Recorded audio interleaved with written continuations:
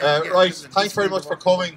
Um, today is a, a very sad day, um, a day of some violence in Calais, um, a place, uh, the jungle, the reason you're all here, uh, the refugee camp known as the jungle uh, will be no more by the end of this week.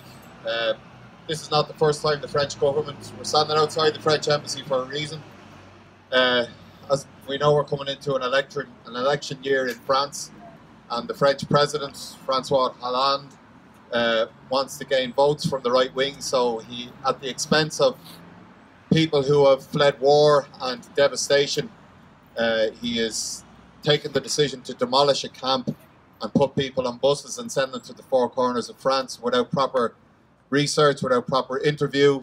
Uh, they're going to be told to claim asylum in France, or they will be uh, put in detention, or they will be sent back to either the first country they landed in in Europe, which would be either Greece or Italy, or sent directly back to where they came from, Syria or Afghanistan or Sudan.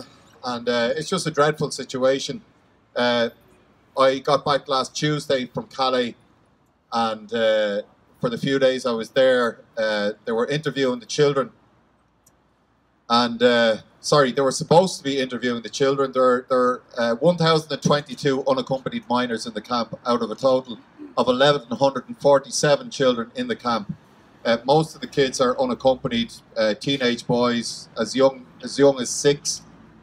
Um, so they were asking them to uh, attend at the uh, the container camp area for interview. And the first couple of days, they were handing out tickets for interviews, and there were it was like Charlie and the Chocolate Factory and the Golden Ticket. There were fights over the tickets because they thought there were only limited places. It was absolutely desperate. The, on Monday and Tuesday of last week, it was pouring rain all day, and they made hundreds of these kids queue up, and uh, no interview at the end of it.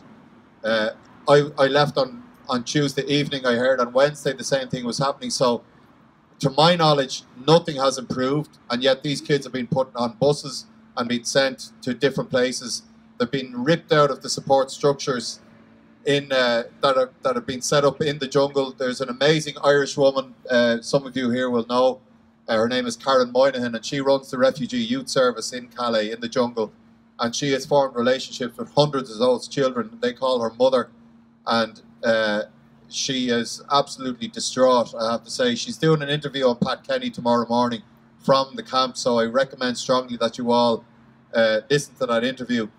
Um, she also has done a very short interview uh, that we are pushing out on social media. We have a Facebook page started called Not On Our Watch, and uh, please go and have a look at it. And uh, if it doesn't move you to tears or action or anger, nothing will.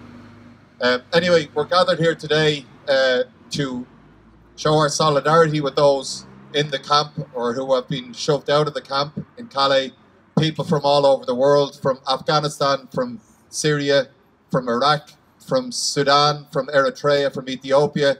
Uh, Karen Rooney is here and Ellen O'Keefe is here, and I'm not sure if anybody else. Some of the other people that have been here have worked in the camp as well, and we all have friends in the camp, and we're extremely worried about them.